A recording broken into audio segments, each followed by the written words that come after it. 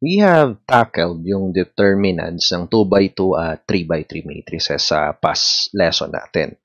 Uh, this time, we will now uh, explore yung bigger size matrices. So, for determinants of matrices with size greater than 3x3. I have here a matrix na 4x4 ang size and ang gagamitin nating method is yung uh, cofactor expansion or expansion of a row by cofactors. Also, uh, mas kilala siya bilang the Laplace expansion. So, example, solve for the determinant of this 4x4 matrix. So, paano ba to? Okay? Ang gagawin mo lang is i-add mo yung or kukuha ka muna ng isang row. So, for this problem, I will pick up this row or the uh, fourth row. And then, I will get the cofactors of that row. Okay? So, proceed tayo. So, cofactor of negative 2. Ang makikita ko, it's, it's the determinant of eliminate mo yung row at saka column ni negative 2. Ang matitira sa'yo is 3, 1, negative 1, 0, 5, 6, 1, negative 1, 3. And using yung basket method natin kanina, you will get that the determinant is, uh, we will get that the determinant is 74. And since cofactor ang hinahanap, kailangan i-include natin yung pattern ng sign, di ba? So, may mo sa fourth row, negative yung start. So, dapat ito, ita-times mo ng negative 1. So, kung 74 yung sagot, ta-times mo ng negative 1. So, yung cofactor ng negative 2 is uh, negative 74. And we will do the same with the others. Pupunta tayo sa cofactor ng negative 3.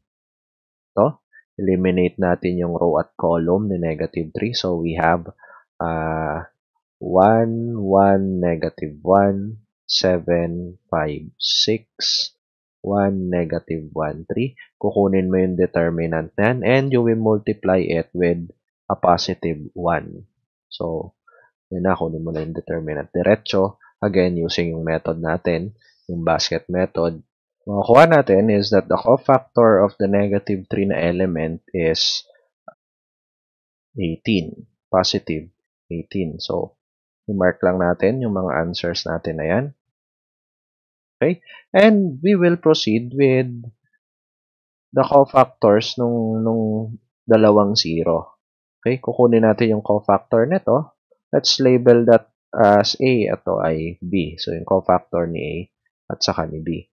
Okay? Now, paano kunin yung determinant? Yung determinant, ganito. Yung element, i-multiply mo sa cofactor niya, tapos i-add mo yung elements na yon dun sa row na yon. So, we have negative 2. Okay? Negative 2. I-multiply mo sa cofactor niya. Ang cofactor ng negative 2 ay negative 74. And then, i-add mo yung susunod. Yung susunod na, na element ay negative 3.